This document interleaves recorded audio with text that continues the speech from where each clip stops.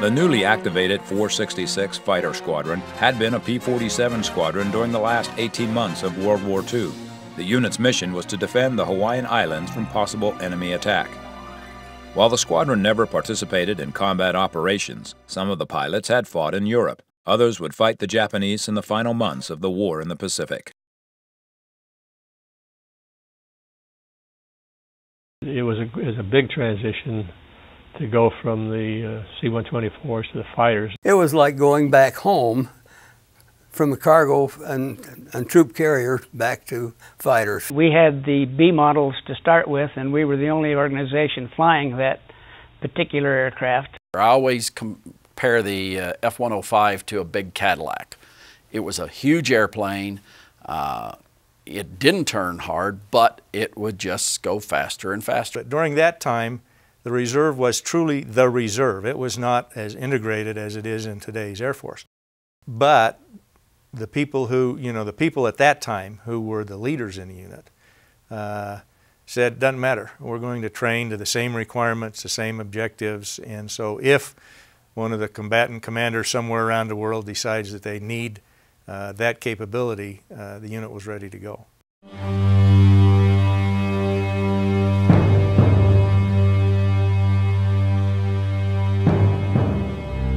Dennis uh, was right out of pilot training, and he was not an experienced fighter pilot. And it was difficult for us because we weren't used to flying with somebody like that. And I think all of us are concerned that we overtaxed him without even realizing it. We would take we would we would assume that he knew something that he didn't because we were so used to everybody knowing just the basics of flying fighters.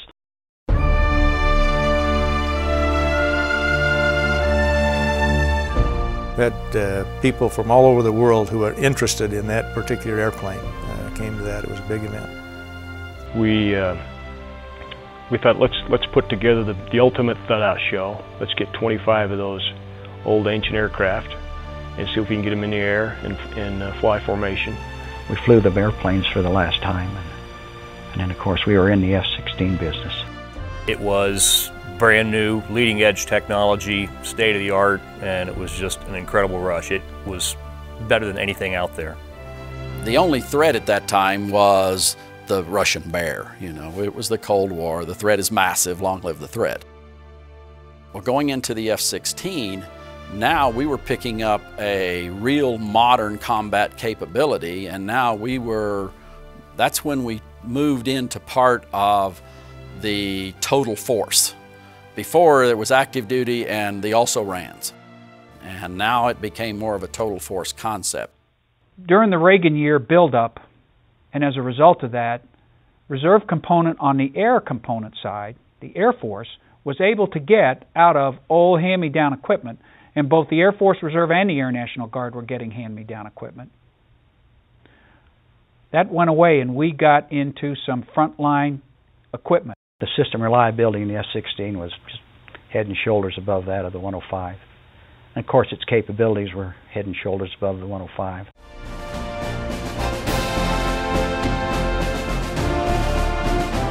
Gunsmoke 85 was also a new adventure for us, and we were new at that competition, that kind of competition.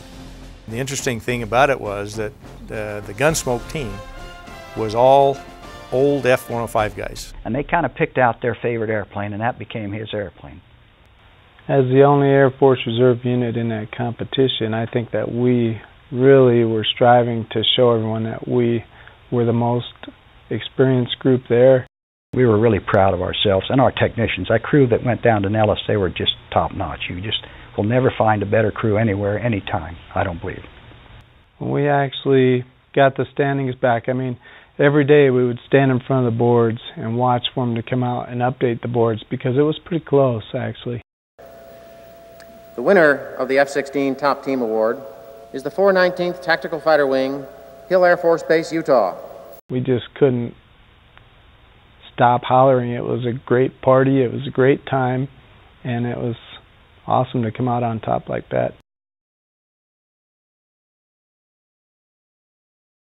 When Desert Storm started, Desert Shield, Desert Storm started, you know, we thought it was possible for us to go, but we had, you know, 78 model A, A model airplanes, and uh, they weren't looking for those type of airplanes at that time. And not being able to participate was a huge disappointment for us.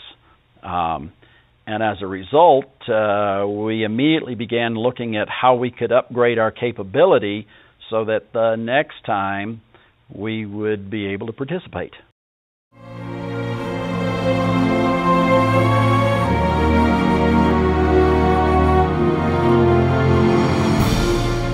Back seat was uh, a Captain Mike Soul, who had just got to the unit. He was an active duty captain, and it uh, just brings out that, hey, it can happen to anybody uh, feeling uh, to all of us.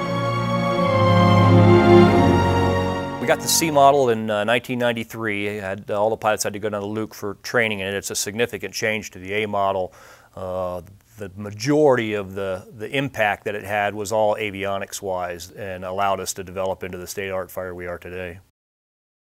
And during that period of time, we had uh, a lot of things happen that took us from a force uh, that was a strategic reserve to the beginning steps of becoming an operational reserve.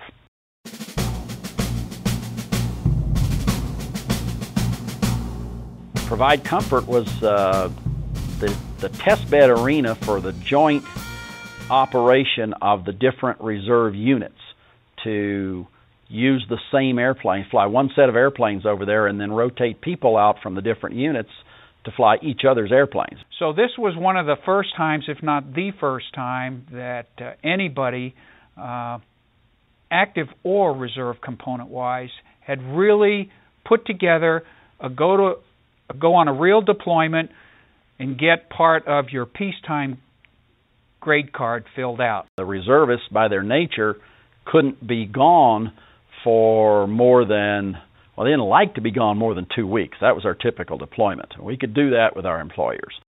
We went there, performed well, enjoyed ourselves, and got everybody home safe. It was a great opportunity. Since then, in the 90s, we've evolved into uh, a force that is probably as capable as almost any active duty unit of picking up, deploying, and fighting a war in, in almost no notice at all. We've took off-the-shelf technology uh, and capabilities that were already embedded in the F-16C and created a Block 30 precision platform uh, using initial LANTIRN pod and then follow up the LITENING pod.